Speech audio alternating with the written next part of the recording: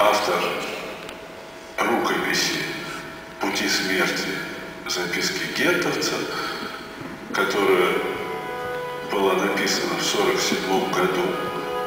Это документальная повесть, и написана она по свежим впечатлениям, если это можно назвать впечатлениями, или по свежим переживаниям, если так можно выразиться, после того, как дед прошел все страшно, одесское гетто и чудом остался жив.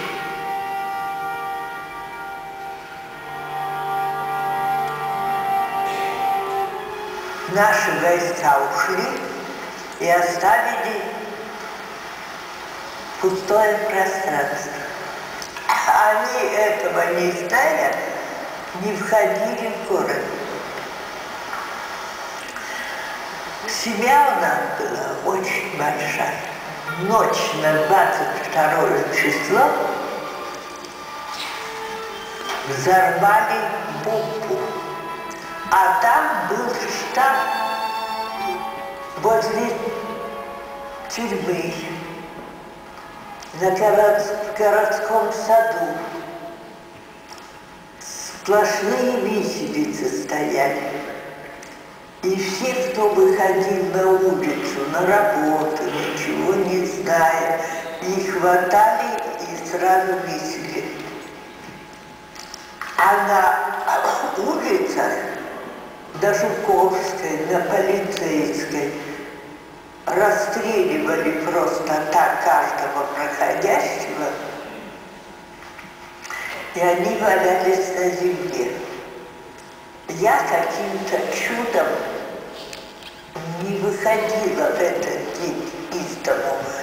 И вот когда я уже вышла через три дня, я увидела эту картину страшную висящих людей и расстрелянных.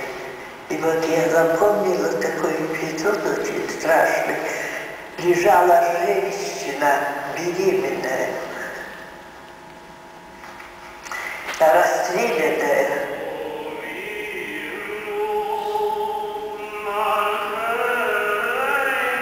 Моя семья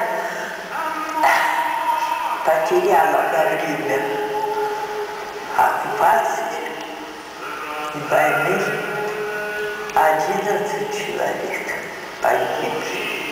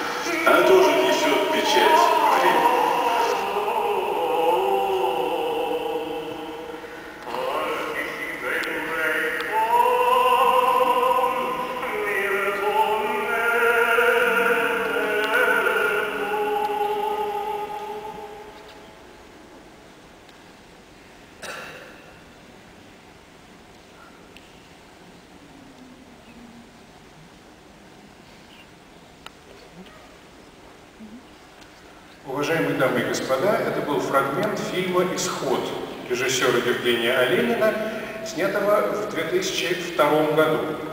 Имею честь представить вам одного из участников работы над тем фильмом, человека, которого вы только что видели и слышали на пленке. Александр Токарев, член-корреспондент Российской Академии Художеств.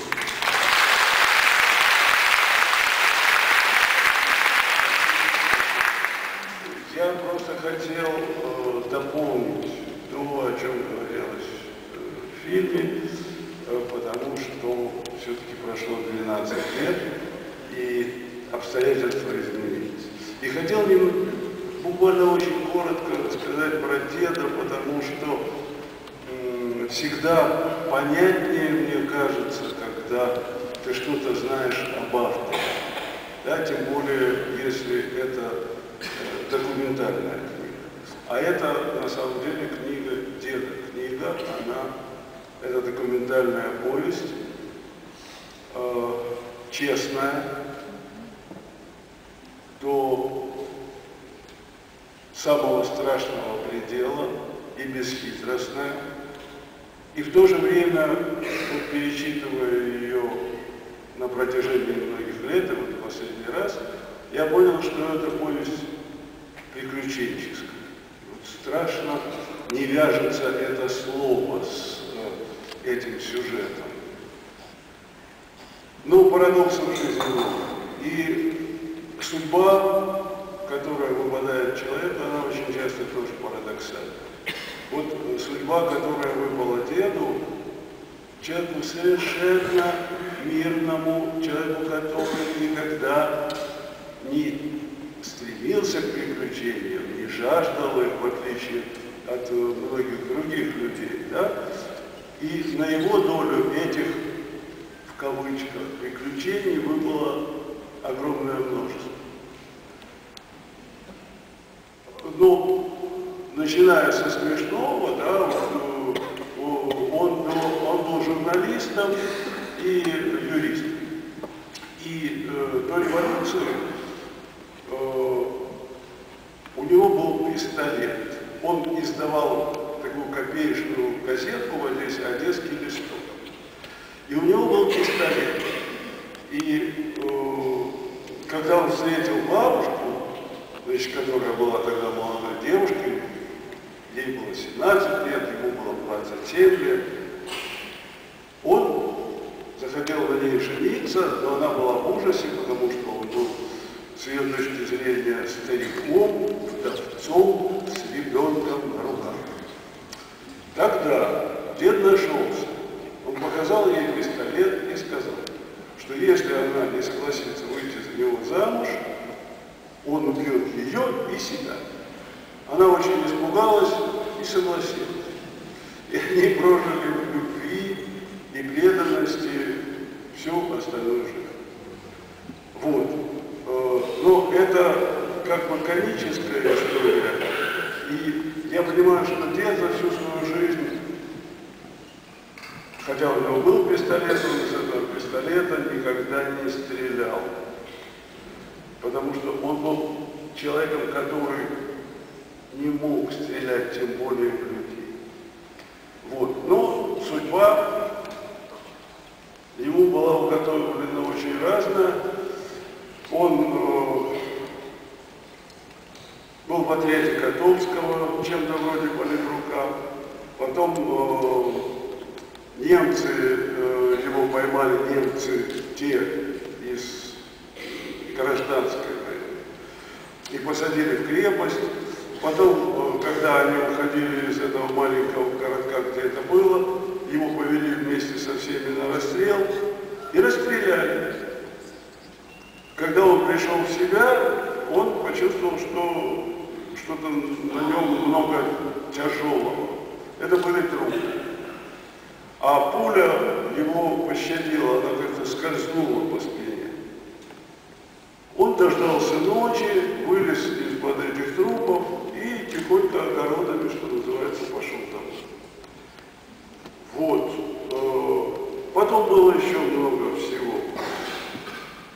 А потом случилось то, что мы называем Великой Отечественной войной, и Одесса, которая была поименована фашистами Транснистрии, как сказали бы в Одессе, чтобы они нам были здоровы.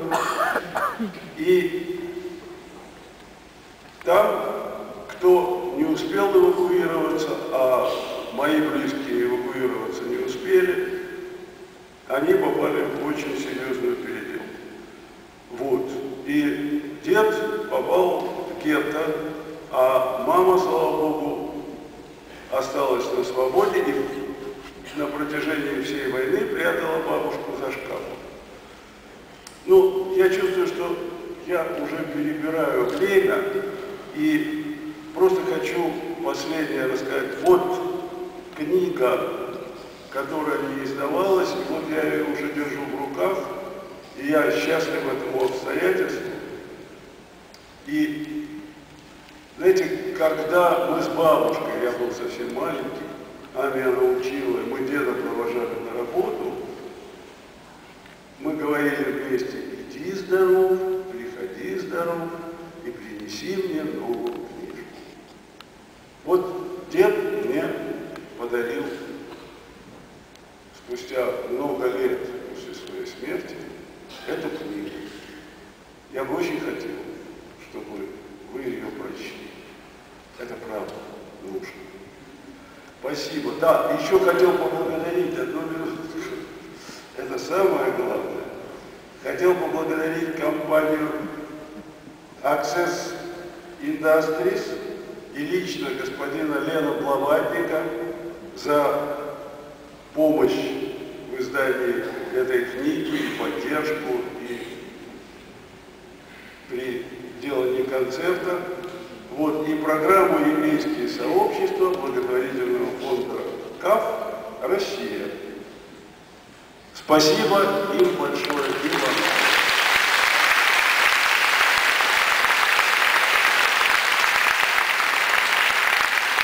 Александр Токарев.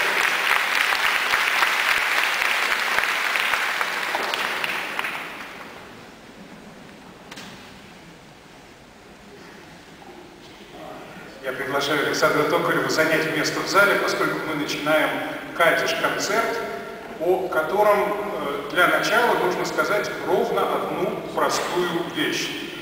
Безусловно, катиш – это молитва непростая, молитва, которая звучит в минуты самого тяжелого и острого горя, но парадоксальным образом именно об этом горе в ней ни слова нет и не должно быть.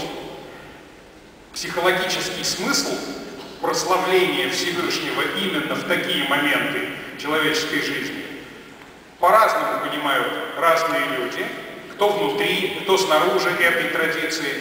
Но в любом случае все согласны с тем, что горе легче, если его с кем-нибудь разделишь.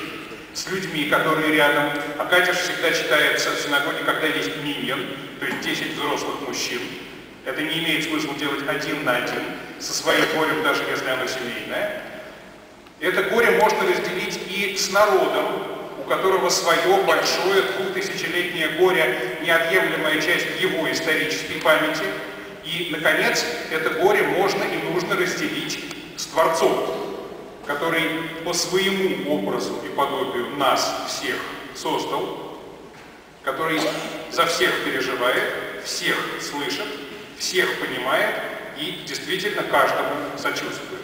Вот именно поэтому Катиш, классический молитвенный текст на арамейском языке, и четыре его музыкальные версии прозвучат сегодня от начала и до конца этой программы. Я подчеркиваю, четырежды будут исполнены на совершенно разную музыку эти святые слова. Причем в одном из четырех случаев слова даже не потребуются.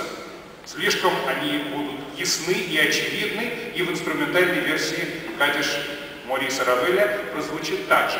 Но начнем мы с традиционного народного кадиша, особой версии, это хасидский кадиш, и его э, предложил нам вот в такой аранжировке, как мы сейчас услышим, выдающийся артист и кантор Михаил Давыдович Александрович, столетие со дня рождения которого тоже отмечается в этом году.